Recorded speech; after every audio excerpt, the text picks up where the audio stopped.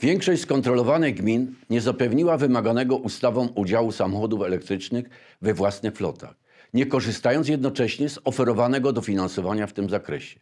Natomiast niektóre jednostki samorządu terytorialnego kupowały autobusy zeroemisyjne właśnie ze względu na możliwość otrzymania dofinansowania.